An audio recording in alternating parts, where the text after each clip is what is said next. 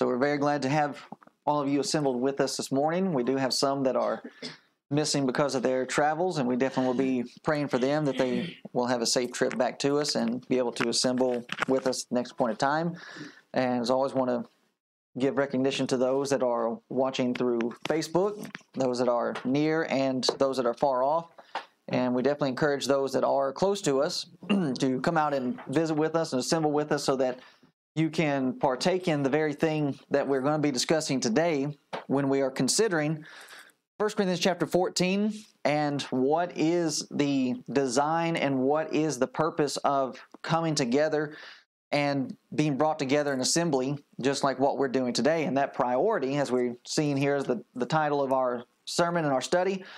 The priority of our coming together is edification. And the word edification, edification, exhortation, encouragement, they are in fact similar, but it all carries with it the idea that we are being built up. You are putting together an edifice, edification. We are building something. And as we are described as being lively stones that are being put together inside of the Lord's house, we then need to understand, or we should understand, just how important it is that we, as these stones, that we are as strong as we possibly can be. Because a builder who's building a wall and you come across a brick that, you know what, structurally, it's got cracks, it's missing pieces, it's got chips in it, you're not going to want to put that in the wall because that's going to end up being a weakening to that particular section. So when we're going through and we're considering ourselves as these stones, we need to make sure that we are being built up together, that we are in fact being strengthened. And that's what these assemblies are designed for. We're going through our week and we have to deal with difficult coworkers. Could be the case that you've got a boss that is difficult to deal with, neighbors that are troublesome, uh, even family members that are quarrelsome and they are just difficult to get around. And when they are around, they are worldly, they're fleshly, they're carnal. Having to be around those type of people all the time, mm-hmm. guess what ends up happening? You end up finding yourself being influenced to be like them. As we're trying to strengthen ourselves spiritually, being out in the world is that's taxing, that's tiring, and it takes a toll on us to where what do we need? Okay, we need a time to where we're able to come back together to be lifted up once again. Now, of course, we have the opportunity, we have the ability to build ourselves up anytime that we need. It's not just coming together for these assemblies. I'm able to study on my own, be involved in different types of Bible studies, whether I'm listening to sermons on YouTube or whatever platform, podcasts that you, you know, desire to do that we all have these other realms or these other times where we can be involved in edification, but there is something particular and special about coming together collectively as a body, being brought together in fellowship. I can do these things on my own, but I still have the responsibility and the need of doing these things together. So when many people look at 1 Corinthians chapter 14, they want to focus in on the fact that, well, you know, Paul is addressing speaking in tongues to a great degree inside of this chapter. Well, just like we looked at 1 Corinthians chapter 11 and how many people view that chapter as the head covering chapter, that's actually not what that chapter is about. That chapter is about a recognition of authority, if you remember us going through that. So, this chapter, just because Paul is using tongues to prove a point and he's using it as a means of illustration, it's not about speaking in tongues. It is, in fact, about edification.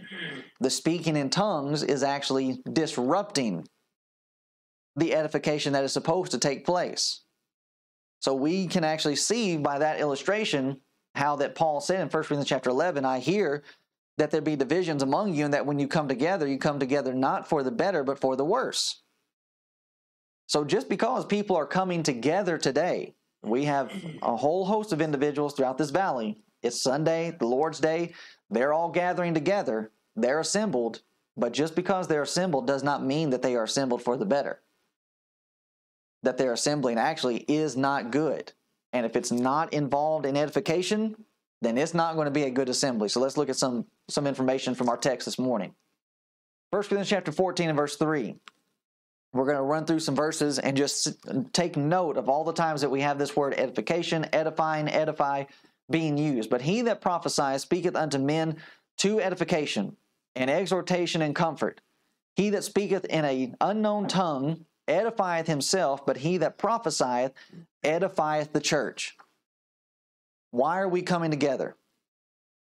The whole purpose that we're coming together is not so that we can show off in these miraculous abilities. It is not so that we can be brought together and be uh, stirred up in some type of emotionalism. That oh, you know, we have a lot of individuals. They come together and it's like, I want to, you know, I want to feel something. That's not what these brethren are coming together to do. They are coming together for edification. Notice this and exhortation, encouragement, and notice, we have comfort when we're coming together inside of these assemblies. What is it designed to do? To edify, exhort, and comfort. By what means? He that speaketh in an unknown tongue edifieth himself, but he that prophesieth edifieth the church. Now, notice verse 5. I would that ye all spake with tongues, but rather that ye prophesied. For greater is he that prophesieth than he that speaketh with tongues, except he interpret, that the church may receive edifying. So, all throughout this verse, we have this emphasis being put on one is greater than the other. And why is that? Because with one, the entire congregation, notice the church, is able to be edified. Drop down to verse 12, and then also noticing verse 17. Even so, ye, for as much as ye are zealous of spiritual gifts, seek that ye may excel, notice, to the edifying of the church. Here is the area in which we are supposed to excel, to go above and beyond. And that is found in the edifying of the church. Verse 17 For thou verily givest thanks well. Notice, and this is in reference to an individual that's speaking in tongues without an interpreter, but the other is not edified. Verse 26 How is it then, brethren, when ye come together, every one of you hath a psalm, hath a doctrine, hath a tongue, hath a revelation, hath an interpretation? Notice, let all things be done unto edifying. What's the goal? What is our aim? Why bring up the misuse of tongues in this chapter? because they are disrupting the purpose of the assembly. As we mentioned in 1 Corinthians chapter 13, how that love has certain characteristics and there are certain things that love does not do. One of the things that we mentioned, or that Paul mentions and that we studied, is how that love vaunteth not itself. It doesn't parade itself, it doesn't boast itself. What are these brethren doing? They are trying to promote themselves, and by doing that, they're disrupting the assembly. Everybody is coming and everybody is trying to speak in tongues because for whatever reason they're promoting that as being superior. Well, guess what? If that's what you have going on inside of the assembly, Paul says that is not edifying. So, what about your assembly? It's not good. So, we can take this, and if we wanted to make some modern day application, those in the charismatic movement, Pentecostal churches, apostolic churches, churches of God, Church of God Incorporated, so on and so forth, where they come together and their assemblies, what are they focused on? Their assemblies are focused on trying to get this stirred up. Let's get everybody riled up and built up emotionally, and let's try to have a breakout of the Spirit. And then you just have people running around the building, the music is jamming to a degree where you can't even hear yourself think and then somebody wants to get up and start talking in gibberish. Now they'll walk away from that and they will say, Oh, we felt something today. Okay, you felt something, but did you learn anything? Was anybody built up? Was anybody edified? Paul is saying very clearly if this is what's going on in your assembly and everybody's just speaking in tongues and nobody's understanding what's going on, there is no edification. So the assembly is not focused on emotionalism. or this overemphasizing of spiritualism. Oh, we just got to we've got to get together and we've got to let the spirit move. the spirit moving in the first century was through, as we're going to mention, we're going to break down prophecy, teaching, and giving information.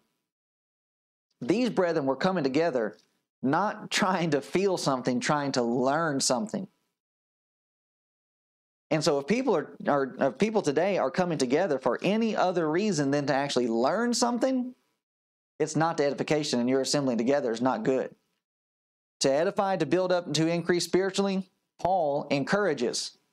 He would encourage the first century brethren. They were being built up in their knowledge.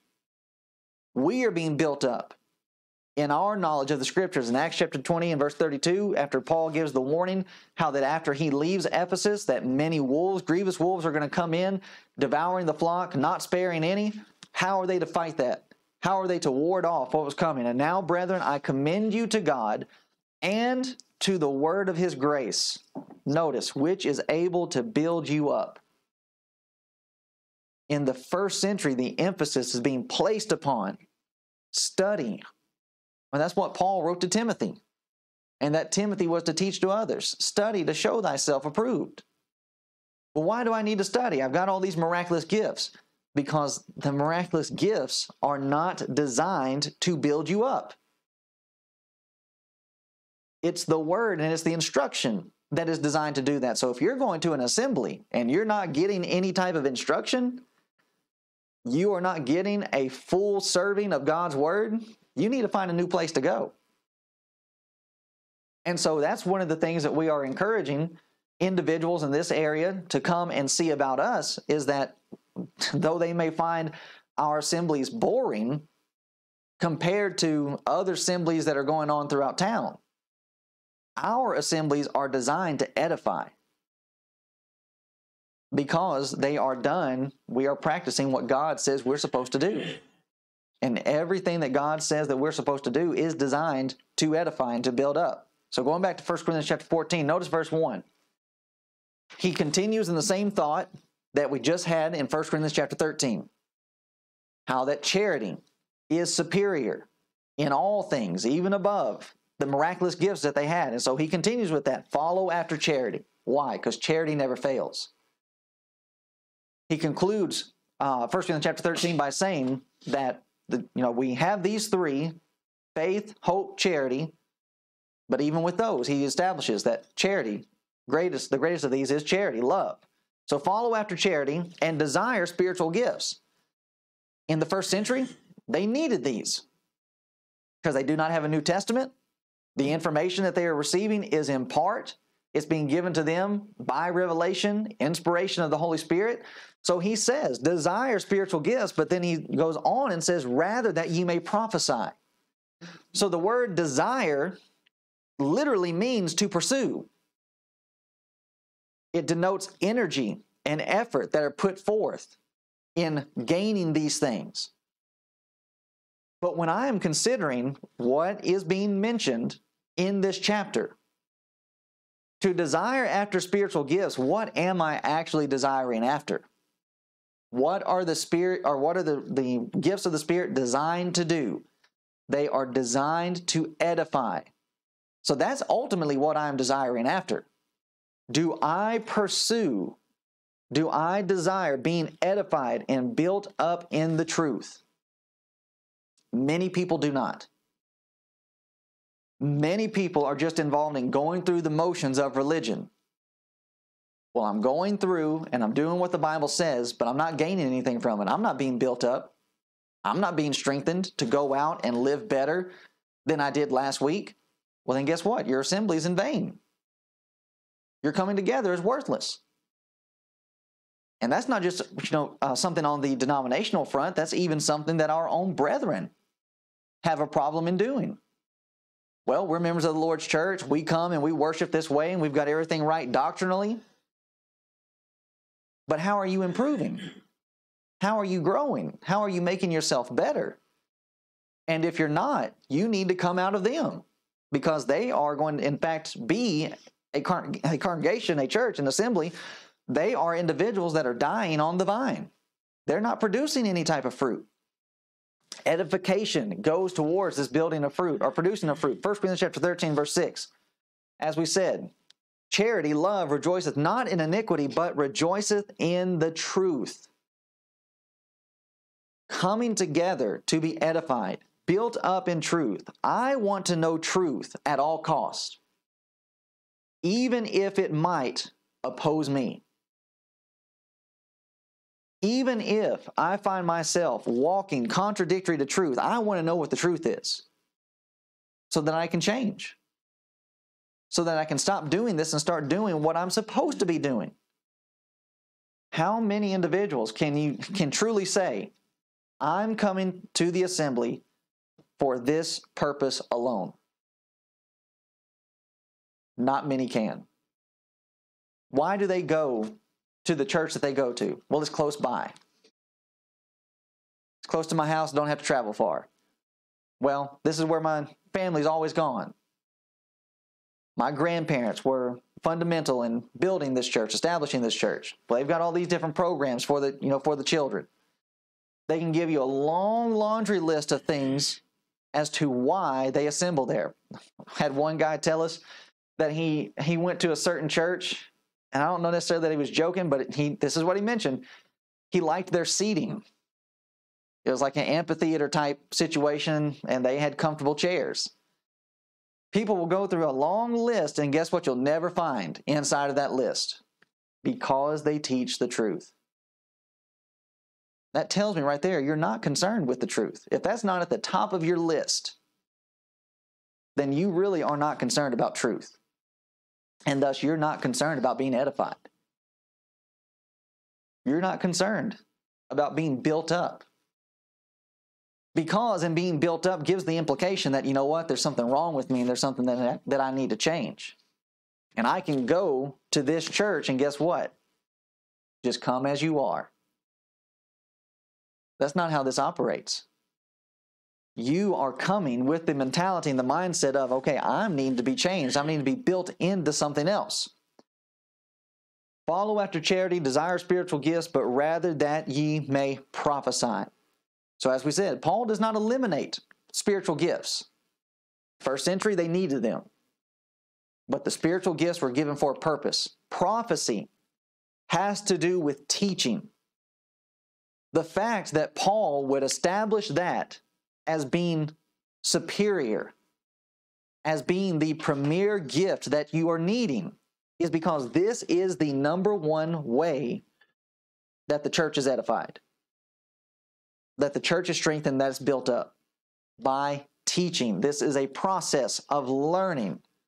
Tongues is an emotional thing. You watch any denominational preacher on television, or if you are in a denomination where they practice speaking in tongues, notice it's only at a crescendo of emotion.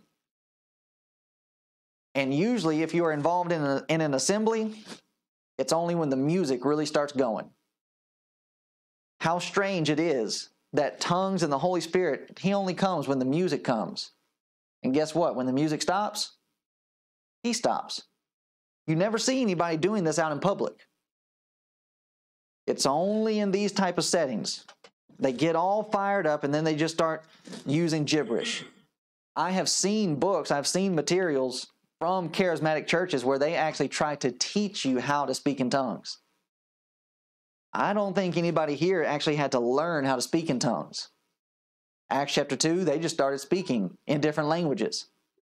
All of this is showing you're not following through the processes that was happening here in the first century. What was the purpose of a tongue? To edify, to teach somebody that would come in and not know the language that you know. You have strangers coming into Corinth and possibly they do not know Greek. So, what are you going to need? You're going to need somebody with this gift to be able to give the information over to them. So, even with tongues, it's all about teaching, not just getting up and showing off and putting on a show to where it's like, oh man, we get to go home and we get to talk about this. To a large degree, what is going on in the first century, and even with what's going on with our assembly today, there's going to be a lot of lecturing. For a lot of people today, that's not interesting. That sounds like boring. That sounds boring. It sounds like work. Well, that's what they were doing. Teaching, preaching, being found in edifying the entire congregation. But prophecy and teaching is connected to intellect, not to my emotion. Notice in Colossians chapter 2 and verse 6, Paul writing to these brethren, and he encourages them As ye have therefore received Christ, Jesus the Lord, so walk ye in him. How do they receive? How are they supposed to walk in him? Rooted and built up in him, established in the faith. How does all this take place? As ye have been taught. But I don't want to go through that teaching process. Well, then you're not going to be rooted. You're not going to be built up. See, they're edified. How does that come? By the means of teaching, abounding therein with thanksgiving, staying in it with joyfulness. Beware lest any man spoil you through philosophy and vain deceit, after the tradition of men, after the rudiments of the world, and not after Christ. The only way to stand against this, and here again we have a very important point the fact that Paul is warning against false teaching. There is truth and there is error, and you need to be, beware. You need to watch out for it. Everything that everybody is teaching is not acceptable just because they claim to be teaching it from the Bible or even receiving it from the Holy Spirit. That they will spoil you. That means make you a ransom. Like pirates or another nation that comes in to conquer a land and they steal you away and take you captive. The purpose that we have been given. Here we have the purpose of our study. The purpose of preaching, the, pers- the purpose of teaching is for edification. As we mentioned earlier on, 2 Timothy chapter 2 and verse 15. Here is Paul, an inspired writer, speaking to another inspired person, and notice that he is encouraging this inspired person to continue to study. Well, why do they need to study? Because, as we've already looked at, these gifts were not designed to last forever. The gifts are going to go away, and the only thing you're going to be left with is God's Word. Study to show thyself approved unto God, a workman that needeth not to be ashamed, rightly dividing the word of truth. And again, we have another warning, but shame, uh, shun profane and vain babblings, for they will increase unto more ungodliness. The more we have of different teachings, different forms of doctrine, guess what we have? We have more ungodliness. That doesn't bring you closer to God, it leads you further away. How are we supposed to stop this? How do we give warning? By studying, by teaching, by building up the rest of the brethren, building up the entire congregation. How does that come? By miraculous gifts only? No. It comes through instruction, teaching, and learning that is being given. Notice verse 2, 1 Corinthians 14. For he that speaketh in an unknown tongue speaketh not unto men, but unto God. For no man understandeth him. Why is that important?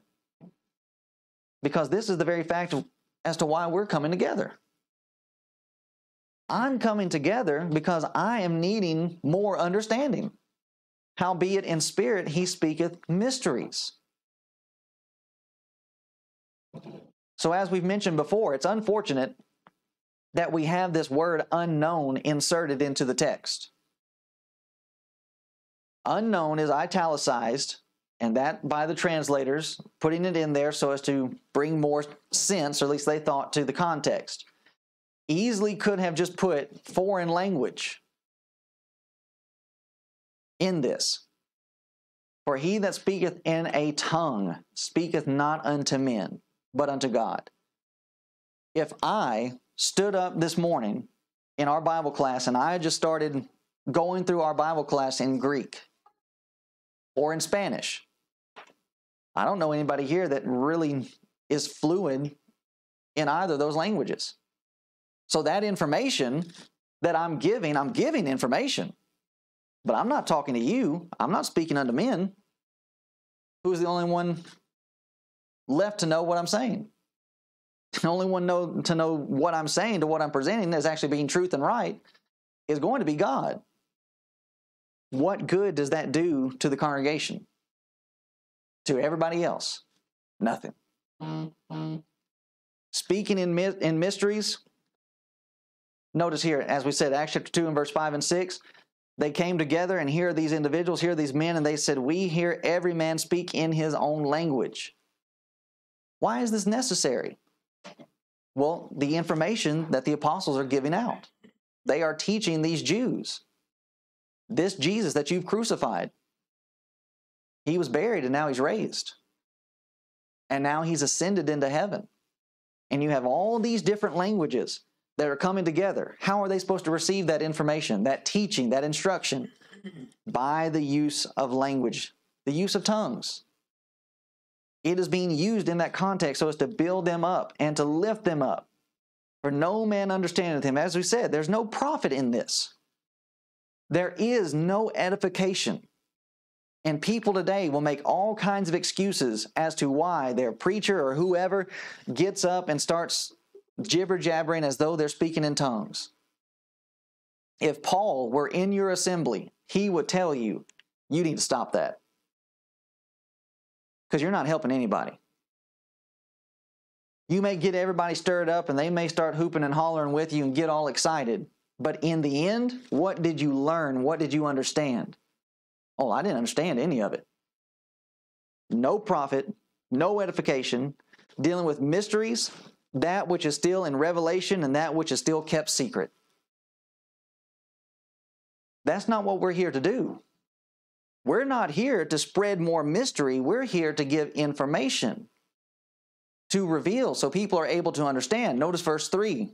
As we, we read it before, but now we're going to start breaking these things down. But he that prophesieth speaketh unto men to edification.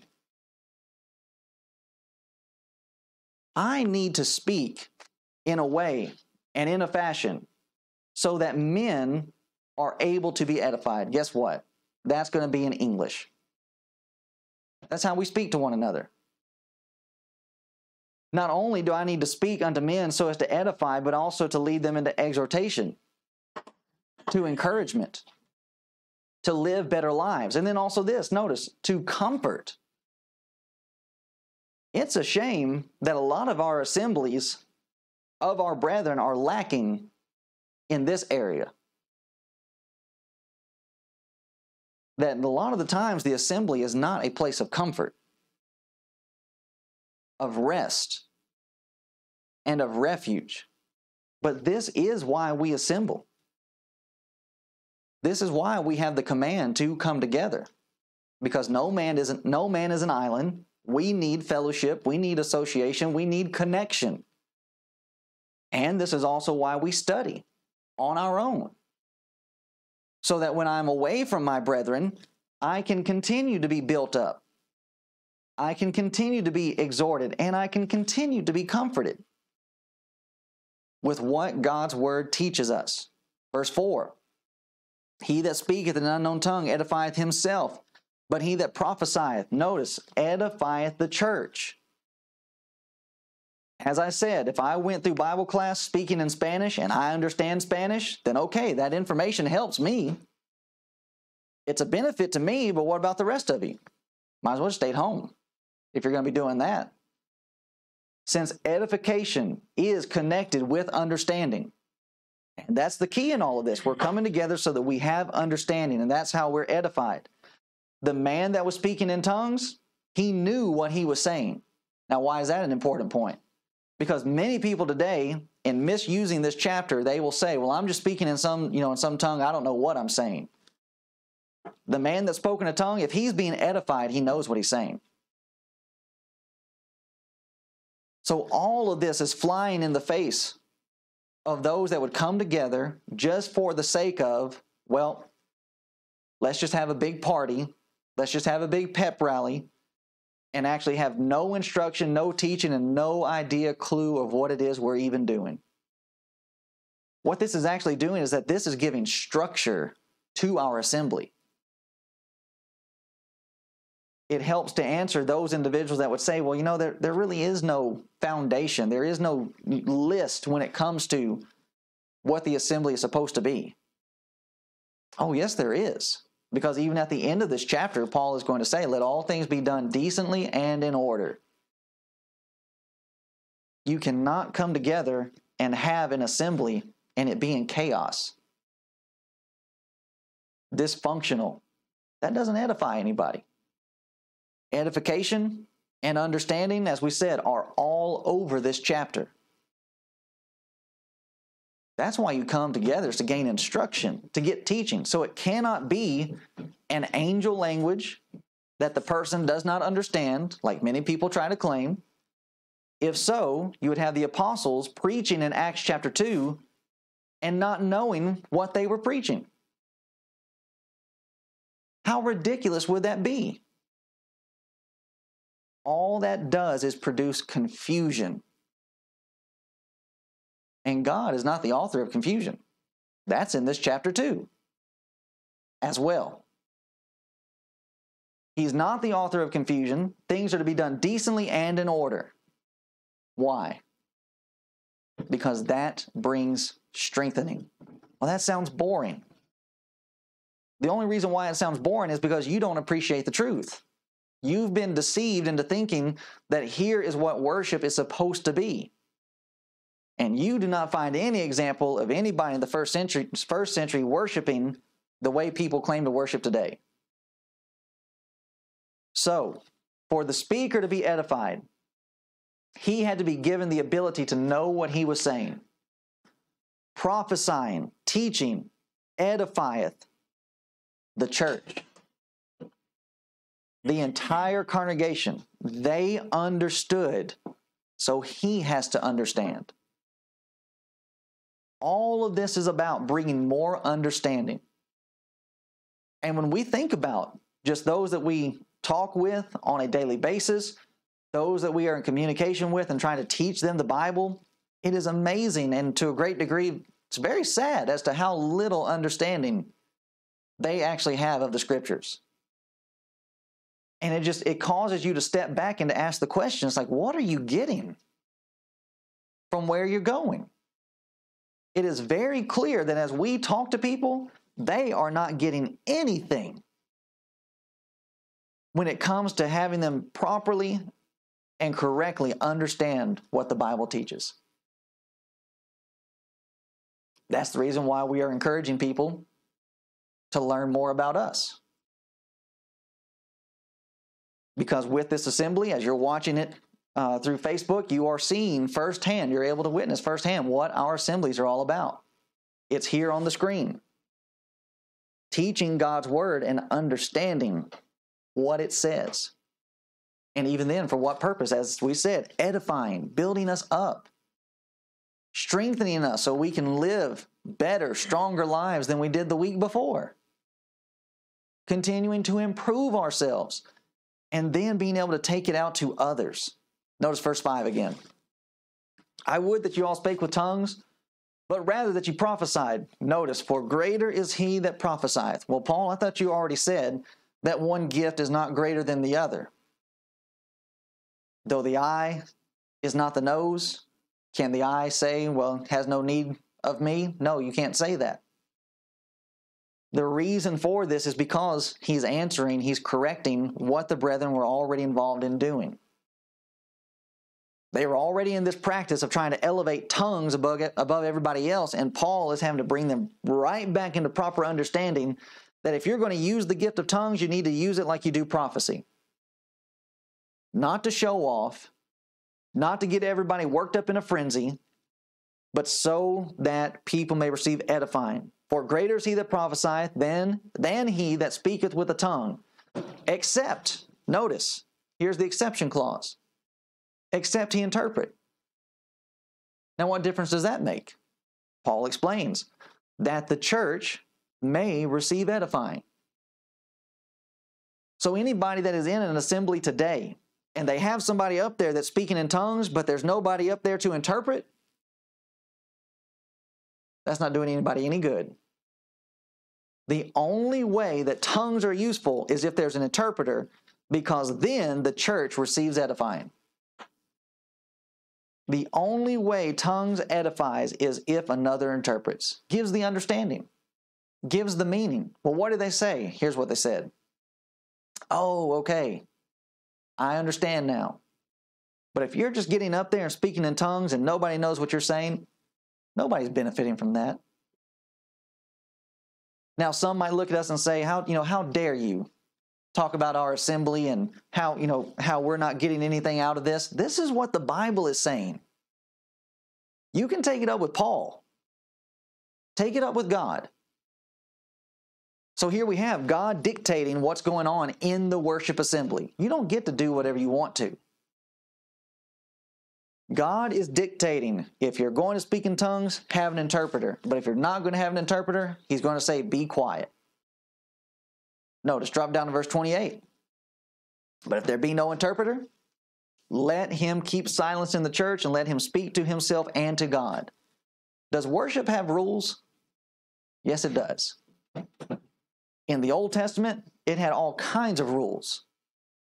And then people, when we get to the New Testament, they want to act like worshiping God, coming together in assembly has no rules. If you do not have an interpreter, let him keep silent and let him speak to himself and to God. How many people that are assembling claiming to be able to speak in tongues and yet they have no interpreter? That is a flat out rebellion to what God teaches, to what God has said. The one that is speaking is not the interpreter. If there be no interpreter, let him keep silence in the church. Because if you did that, you then would give room for deceit. Well, let me speak in tongue and let me also give you the interpretation. No, I don't think so. Because even still, I have no idea what you said. And you could be telling me a lie as to what you actually said. Now go back to verse 6. Now, brethren, Paul aligns himself in this. He lays application to himself. Now, brethren, if I come unto you speaking with tongues, what shall I profit you? Paul could come into the assembly and he could come in speaking any language that he desired. And I'm sure people would just, oh, ooh, oh, look at this. This is amazing. But what's the profit? Well, yeah, you're all excited, but what did you learn? What have you gained? What shall I profit you except I shall speak to you either by revelation or by knowledge or by prophesying or by doctrine? These are the areas where people gain profit. Revelation, revealing some mystery from the Old Testament. That leads to edification. The giving of knowledge, prophesying, teaching, lecturing, or by a study of doctrine. All of these categories, people today look at that and they say, man, that's the worst. But that's what it's all about. Here is the purpose. What purpose? 1 Corinthians chapter 12 verse 7. But the manifestation of the Spirit is given to every man to profit withal. Why are they given the gifts? To help everybody, not just the person with the miraculous ability. The tongue had to bring instruction. If it does not, then there is no place for it. Notice verse 7 and 8. And even things without life, giving sound, whether pipe or harp, except they give a distinction in the sounds, how shall it be known what is piped or harped? Under the Old Testament system, you had the Levites that they would blow on the trumpets when it was time to assemble. Well, that had a specific sound. What if the Levites they decided, you know what, we're going to blow a different sound today and try to get people to assemble? That's not going to work because people are going to question, what does that sound mean? If you're out in battle during this time frame, they would use different instruments to give different commands to the soldiers. If you heard this sound, it means it goes into this formation. If you hear this sound, it means go into this formation. If you hear this sound, it means retreat.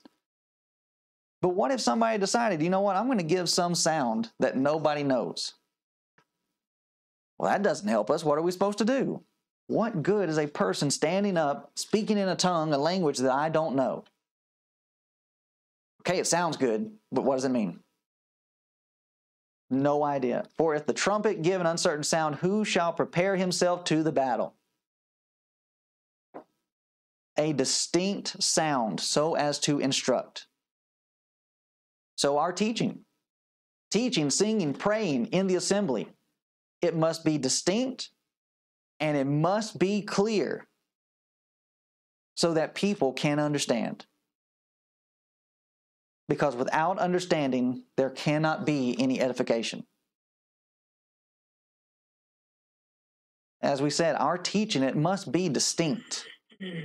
A lot of people want to try to talk in or teach and preach in generalities. They want to teach in vague terms, not really being clear, not being distinct. That doesn't help anybody. If we're talking about a certain issue, then we need to talk about the issue so that the audience knows exactly what we are discussing. Understanding clearly what the Bible teaches, not in generals, but specific. 2 Corinthians 3 and verse 12. Seeing then that we have such hope, notice we use great plainness of speech.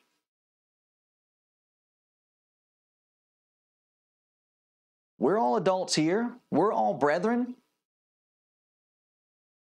We're dealing with spiritual matters.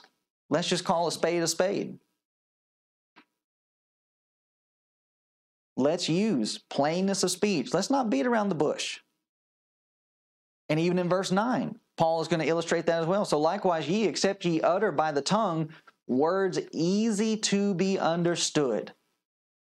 How shall it be known what is spoken? For ye shall speak into the air. You know, there are some preachers, even in the Lord's church, there are some preachers that are like this. That you have no clue what they are saying unless you have a dictionary there with you. I love Foy Wallace, but man, Foy Wallace is one of the worst when it comes to giving words that are easy to be understood. He's got great material, but he could have worded it better. To where a lot of people, they don't want to take the time to read his material. They don't want to read his books because of how hard it is. And because of that, they're missing out on a great deal of information, wealth of information. Well, guess what? When we come together in our assemblies, I don't need to try to talk over everybody's heads. In James Harding, or the biography of James Harding,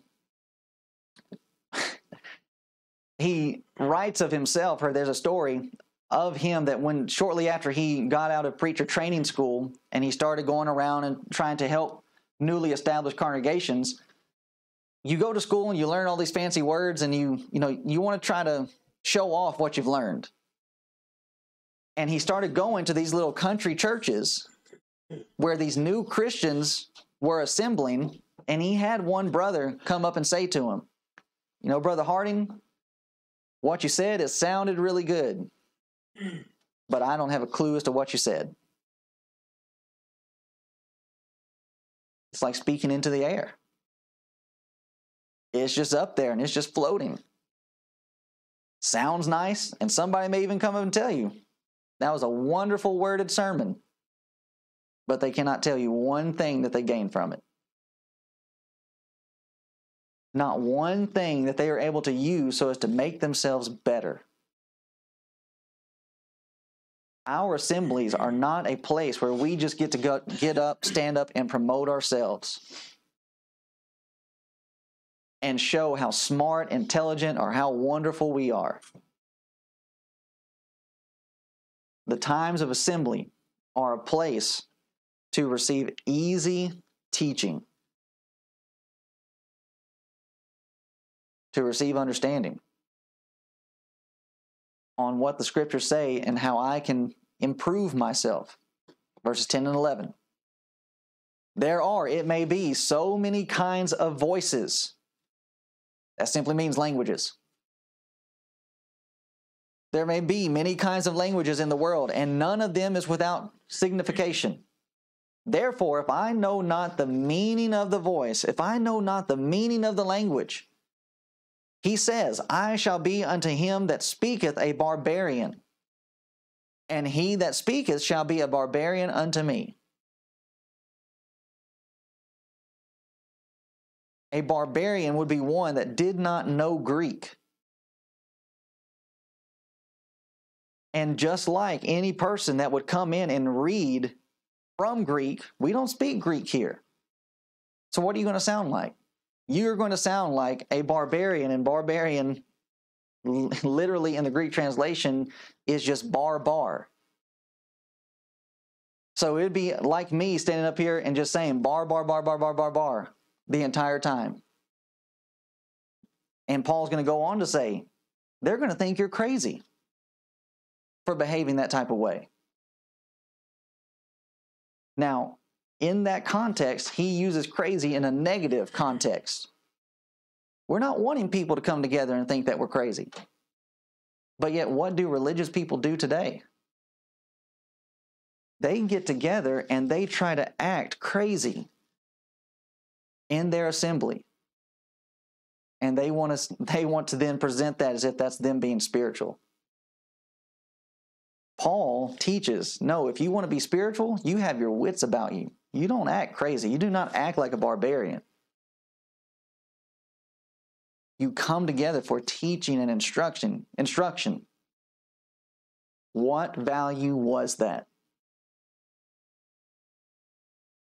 And so, as we bring this to a close today, we want to ask not only those that are watching this by uh, means of our live stream, but we want to ask ourselves what value did we get out today? We need our own brethren that would be watching this stream. Wherever you are assembling, ask yourself later on today, what good was that? What value was that? Of us coming together, sitting through the sermon, the singing, everything, what value did it hold? What profit did it bring? And if you look back and you cannot categorize any type of profit from what from your time in that assembly, I would be encouraging you to find a new place to assemble. Now, the problem with that is twofold. There could be a problem with me to where I'm so puffed up and I'm so high minded in myself that I think that there's not anything that I could gain. So if you're looking at the assembly and you're saying, well, I didn't really gain anything from that, I would check yourself first before you start putting blame on the preacher or one of the elders or who, you know, whoever taught Bible class. Because it very well could be the case that the problem is with you. That you're not getting anything because you don't think there's anything that you need. But if I am a person that realizes, no, I have these problems in my life and I'm looking for understanding, I'm looking for instruction in ways in which I can improve my life and I'm not getting it, go talk to the teacher, go talk to your elders, let them know of what's needing to change. And if things don't change, make a move. But definitely for those that are out in the denominational world, that are in man made churches that are following after man made traditions, and you are going to a, an assembly calling it worship and actually it's a circus, you for sure are needing to find a new place. And we would recommend that that place is with us. And we're not doing that to be boastful, to you know simply brag on ourselves, but and as you're able to witness with this sermon, the reason why we're going through this sermon is not just for the benefit of letting the community know what we are focused on and what our importance is, but it's, as we mentioned, it's for us first. We are coming together. The material is being put together with the intention of first and foremost building us up. Because life is hard, And we have an enemy, an adversary that is out there trying to destroy us. And he is wanting to tear us down. And if he's wanting to tear us down, then we have to be in the processes of building ourselves back up to rise above his influence, to rise above his temptation and his snares. And we have many ways in which we're able to do that. We can study on our own, listen to other individuals, other preachers, teachers that give us encouragement, edification, uplifting. And we need to make sure that we are involved in that throughout the week. Because at some point, everybody grows weak. So find a way to be strengthened. Study, pray, sing, you know, sing on your own. But then we have this time where we're able to come together in a group setting to be brought back into remembrance that there are others that are struggling with me. That as we're gathered here and I can look around and I can see fleshly faces looking back at me and knowing, you know what, they're being tempted just like I am. And they keep going. And so if they keep going, why should I stop?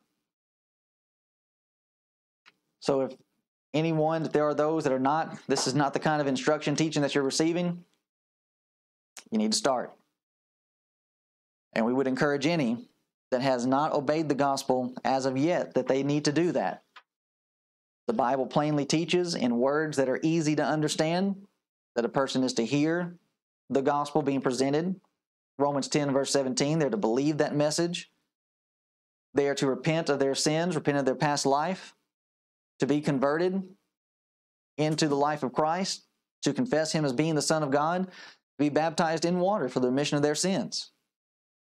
Having your sins forgiven by God's operation, Colossians chapter 2, verse 11 through 13. And then after that, the fun is just beginning. Striving to live faithful, walking in the light as He is in the light. That is where, for us as members of the Lord's church, where our encouragement, exhortation, and edification comes in. That as we go through and we are striving to be built up, one of the first things possibly that needs to take place is we need to make a confession that, you know what, I've allowed this area of my life to grow weak. And that I need prayers and I need further encouragement from my brethren, from others that understand the difficulties of this life. So as we stand and sing together, offering this time of invitation for any that have a need, we ask that you come while we stand and while we sing together.